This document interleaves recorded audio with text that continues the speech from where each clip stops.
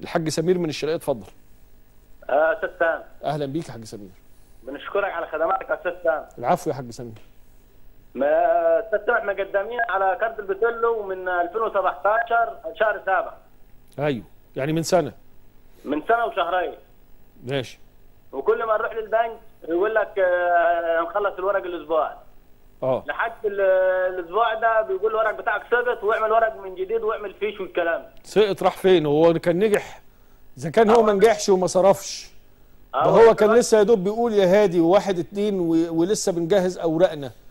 يعني يعني التأخير كان من عندك ولا من الإجراءات؟ أنت كنت مقدم على قرض بقد إيه؟ ورق يا فندم ده بيقول لك مشي طيب ماشي. يعني المفروض راح الفرع الرئيسي وتعرض على وزارة الزراعة قطاع الإنتاج الحيواني وبياخد إجراءاته. عشان يصرف الراجل. آه وكان بيقول هتصرف آه ولا صرفت ولا هو نجح. هو سقط الورق. طيب. وجيت تاني اليومين دول يعني كان بيقول خلاص أصرف الأسبوع اللي فات قال لي بعد العيد على طول. جيت بعد العيد سالت قال لي اصبر أسبوع. جيت النهارده بسال بيقول ده الورق بتاعك سقط واعمل ورق من جديد وهتصرف عليه على طول. طيب. انت مقدم على قرض بقد إيه؟ كارد على 10 روس انت المساحة عندك كبيرة كويسة؟ كبيره وجم مصوروا ويعني هم جم شافوا وكل حاجة وقالوا الدنيا تمام. ده عندنا يعني المكان ياخد له 50 راس ما شاء الله. مرخص المكان بتاعك؟ مرخص وكل حاجة. يعني انت راجل كل حاجتك جاهزة؟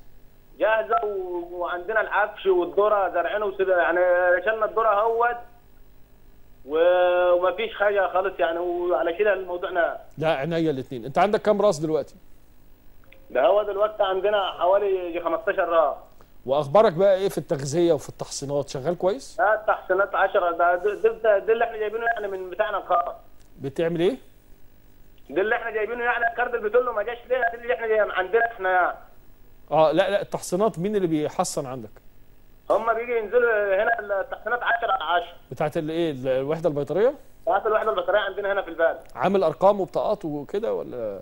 آه. آه ليه؟ يعني أنت استفدت بيهم في إيه لما رقمت وعملت بطاقة؟